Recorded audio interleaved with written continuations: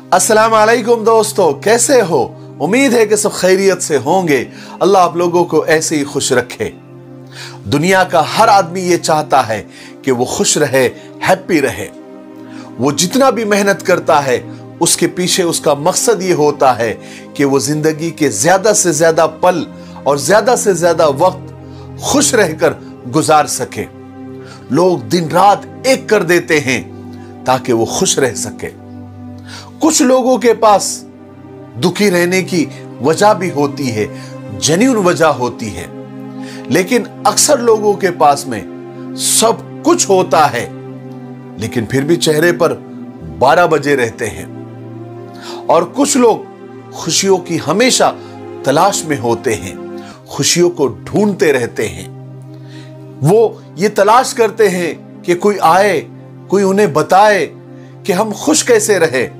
कोई राज बताए, कोई पॉइंट्स बताए, ताकि वो खुशियों को तलाश कर सके और खुशियों को ढूंढ सके। मैं आपको एक बात बता देना चाहता हूँ। याद रखे, खुशियों का ताल्लुक आपके हालात से नहीं, खुशियों का ताल्लुक आपकी सोच से है।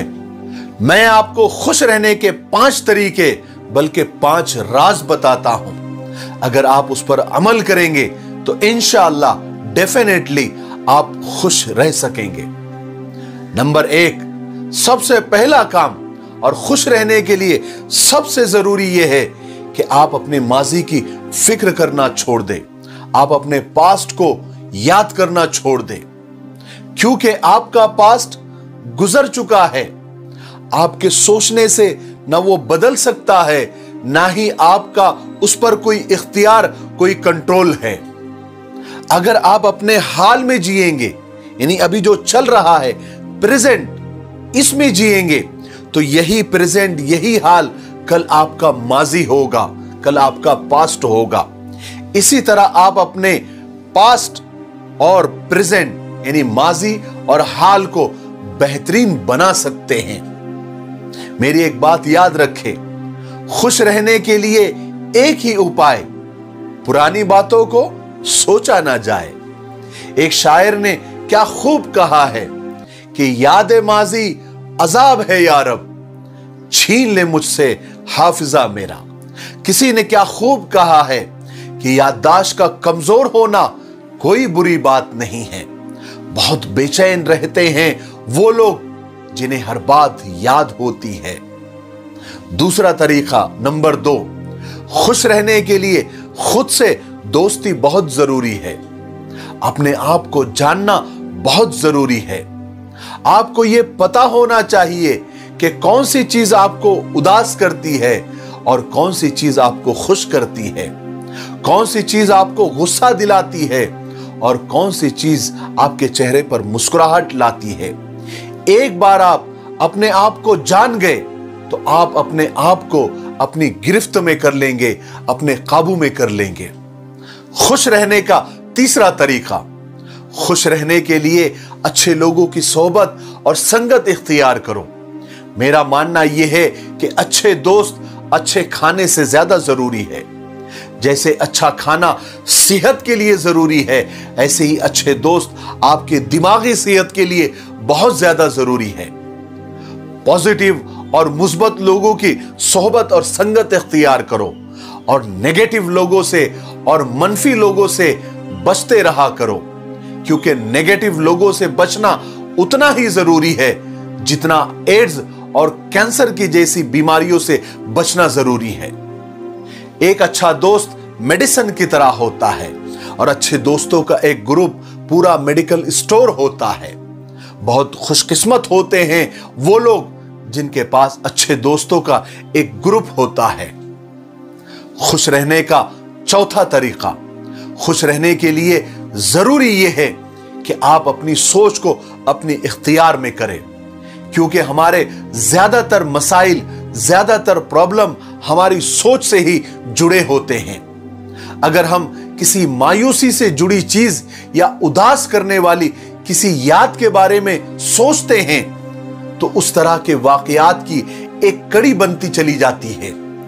और हम बिना चाहे उसी बहाव में बह जाते हैं। इसके उलट, इसके बरक्स हम किसी खुश करने वाली बात को सोचते हैं तो ऐसी हज़ारों खुश करने वाली बातें हमें याद आ जाती है, जो हमारे चेहरे पर मुस्कान ले आती है। तो खुश रहने के लिए चौथी चीज़ यह है कि अपनी सोच को अपनी गिरफ्त में और अपने काबू में करना बहुत ज़रूरी है।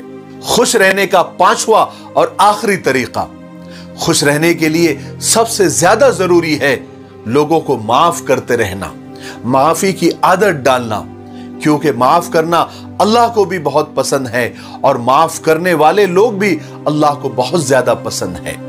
और माफ़ करने में अल्लाह ने बहुत सुकून रखा है, बहुत खुशी रखी है।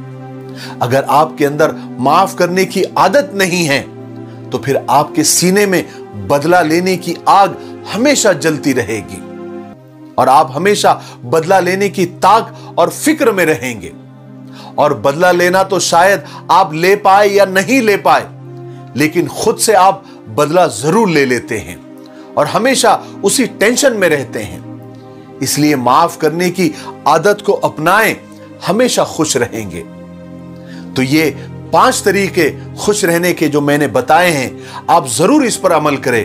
यकीन मानिए, आप खुश रहेंगे।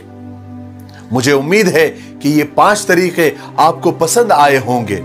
मेरे लिए, पूरी उम्मत के लिए और पूरी इंसानियत के लिए खैर की दुआ करते रहें। अस्सलाम वालेकुम वरहमतुल्लाहि वबरकातुहू ये हमारा मिफ्ताही तलबीना है।